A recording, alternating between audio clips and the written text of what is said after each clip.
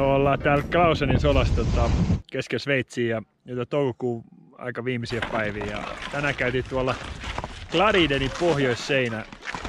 Vähän lähdettiin aamulla vähän tarpeettomaan aikaisin ja vähän oli alussa tietenkin lähestyminen. Ja...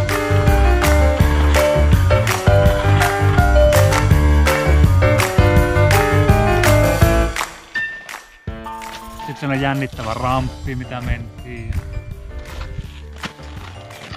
Siinä me vaihdettiin sitten, sitten tota, noihin jäärautoihin ja hakkuun ja sukset selkään. Ja ensin se ramppi ja sitten mentiin sitten seinää ylös, ylöspäin sinne sitten. Ja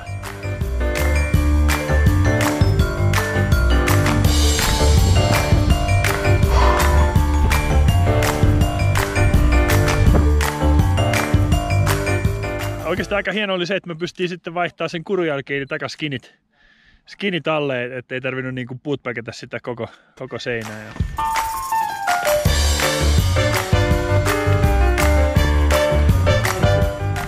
Oli risti ja paljon porukkaa. Kunnon kamera härmäleitä ja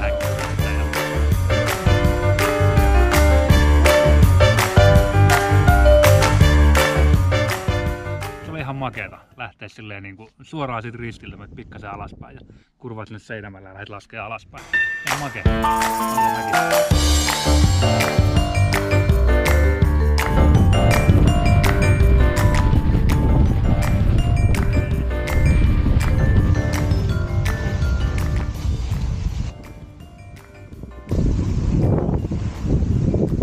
Laskettiin sieltä ristiltä alas ja tultiin sitten siihen yläkentälle ja yläkentällä oli tosi hyvä. Oli vähän semmoista kompaktia talvilunta, mutta että tosi hyvä laskea sitten. Ja...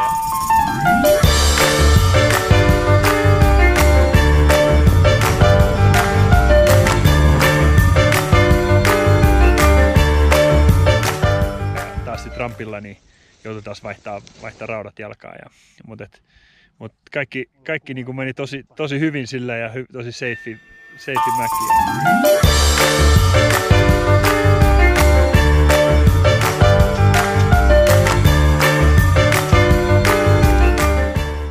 Se on ollut jo joskus opiskeluajoilta mun mielessä, mutta nyt, nyt päästiin, päästiin käymään se.